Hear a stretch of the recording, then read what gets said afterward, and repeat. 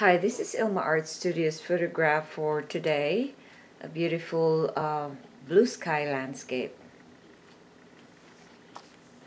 Hi, check my website at ilmaarts.com for more artworks and photographs. Today I'd like to share Philippians 1 verses 3 to 5. It says, Every time I think of you, I give thanks to my God. Whenever I pray, I make my request for all of you with joy for you have been my partners in spreading the good news about Christ from the time you first heard it until now. Here's my poem Prayer for God's People. I am so grateful that you have blessed me, Lord. I feel great when other followers spread your word. I'm filled with joy that my that they are my partners. Thank you for granting us a chance to encourage each other. I pray that you shower us with strength and persistence. I'm glad that you allow us to grow our wisdom and patience. May we always choose to treat, tread the narrow path to your kingdom. May you continue to keep us safe and to continually enjoy freedom. Here's my essay.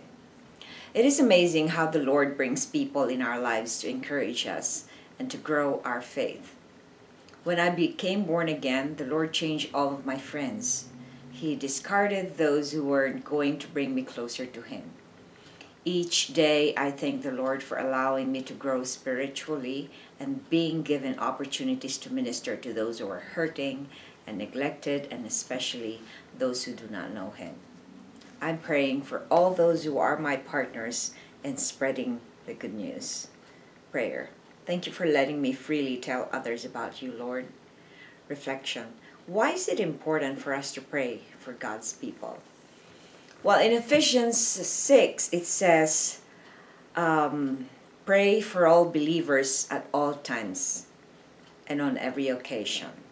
So it is uh, something that is commanded to us by God because um, when we pray for God's people, we're actually uh, propagating the Word of God or the good news and it is important to pray because um, a lot of times those who are working directly for God are the ones that are being attacked more by the enemy because the enemy wants to stop the good news from spreading to everyone in, and everywhere out in the world. So it is important to pray so that uh, we will uh, be encouraged and uh, when we go through uh, situations that are discouraging, we will know that we're not alone and that somebody is there praying for us and um, making God's kingdom work uh, prosper.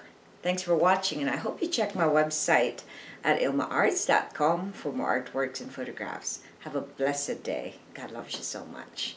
So do I.